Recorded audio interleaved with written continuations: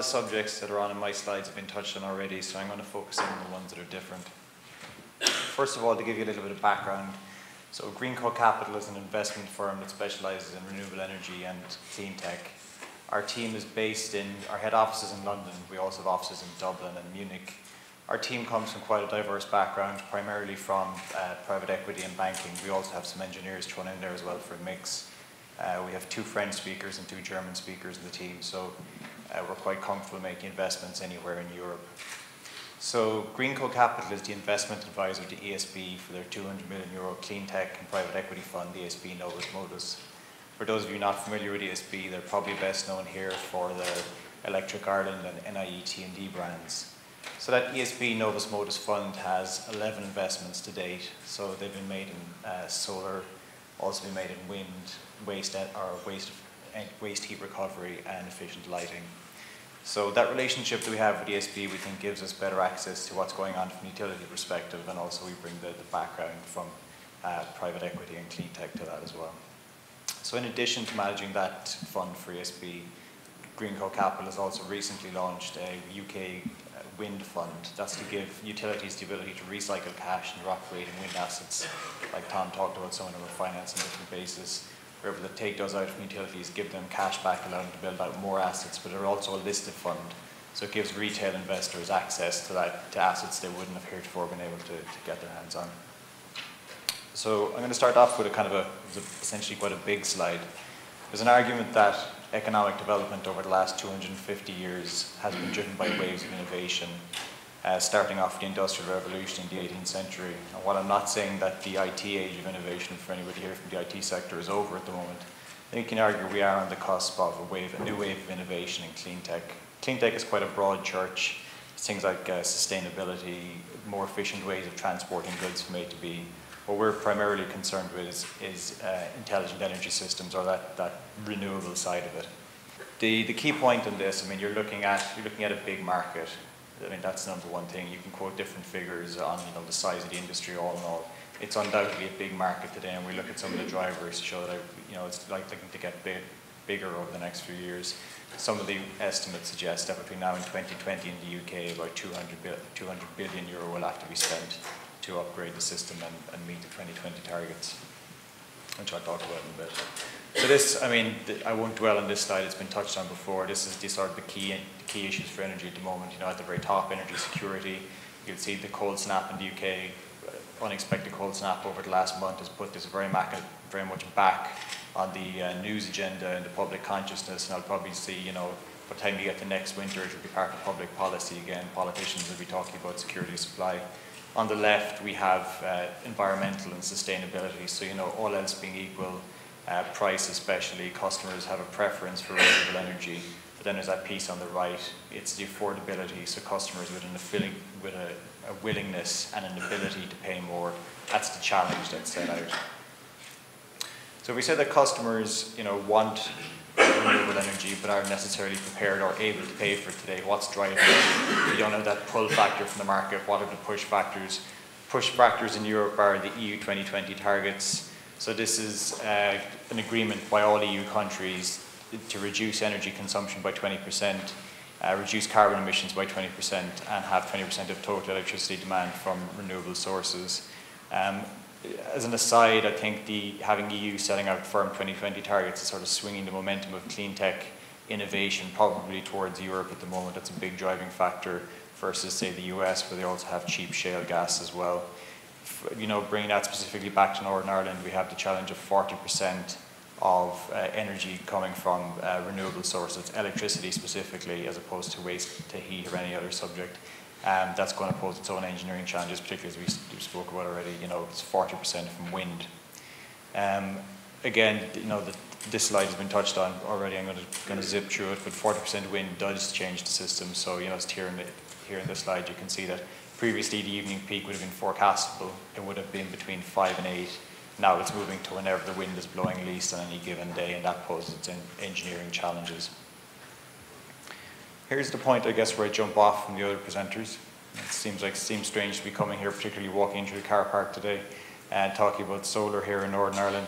Um, solar and I, I, I, guess I caveat this by saying very specifically, I talk about solar in the context of distributed generation technology. Solar isn't going to provide you the scale. Solar isn't going to go a huge way towards meeting your 20, or very little towards meeting your 2020 targets. But if we talk about how the system is going to change and how customers see the system change, distributed generation has been talked about for a long time. And I think finally you have the perfect distributed generation technology in terms of easiness to install, low maintenance as well the falling capex prices have gone a long way towards for certain customers and Tom's point particularly on the payback periods that customers are looking for is interesting. So the levelized cost of energy here is based off 7% very few customers probably put 7% into their models. So I guess what I am saying is the falling capex prices has changed in the dynamic. So conventional wisdom about solar could never ever work. I think it's something you should really challenge and, and keep keep that in the back of your mind that it's not necessarily always going to be that way admittedly there's consolidation in the solar industry at the moment, so you, you, had seen you know gross margins being almost negative or very very low. That will change, but there's other areas where the cost, where the total installed cost for solar can come down, like inverters, like installation cost. So that's one to keep an eye on. But it's not you're not going to see banks of solar arrays in fields in Northern Ireland driving around. Not predicting that. We are saying is for certain customer segments, particularly in maybe between the, the larger SME type customers, solar could become interesting as a distributed generation technology. So if we, we talked about how supply is now going to become more and more inflexible, having, you know, how do utilities respond to that from an engineering perspective? Well, having more intelligent metering on the system goes a long way. Having systems that can respond at, at a network level and controllable infrastructure does help, but that only gets you so far. So what you need to move to is a situation where demand is now flexible in response. Things that will do that, electric vehicles are quite interesting electric vehicles have the ability to soak up large amounts of power and they can be somewhat picky about when they do that. Electrification of heating is also interesting.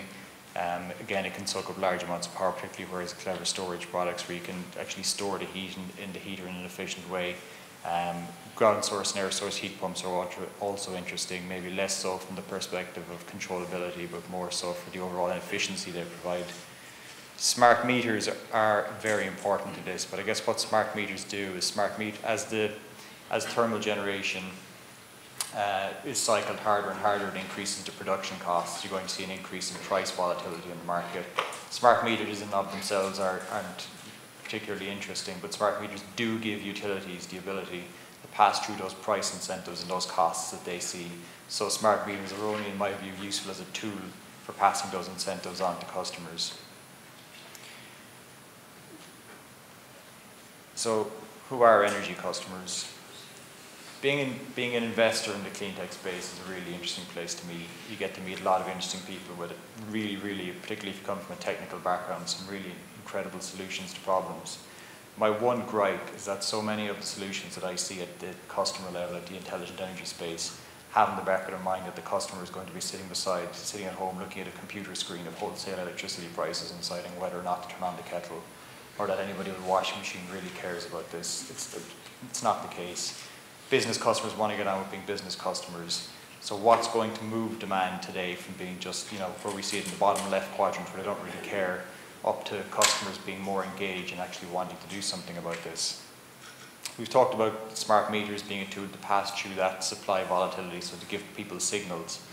But it, you need something more than just the signals for our customers to respond.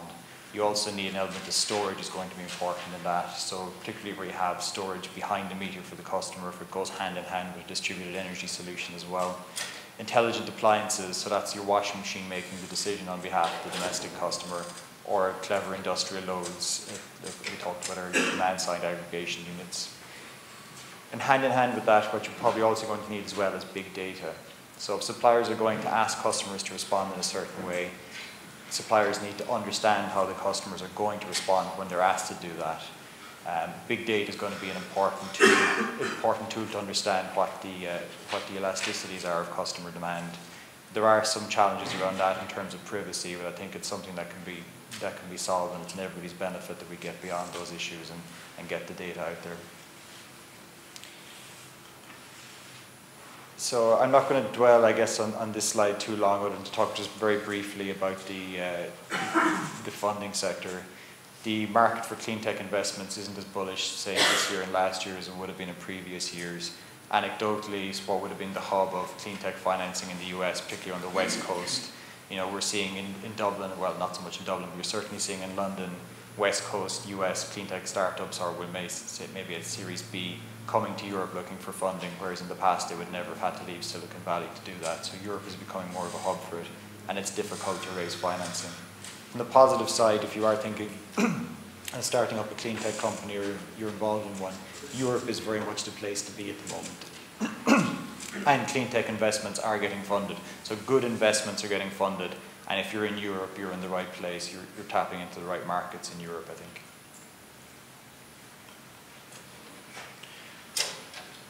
This is the well talked about, you know, for any technology moving from that point in, in academia where an initial concept has been developed, taking it across the, the valley of death, what they say, for full commercial rollout.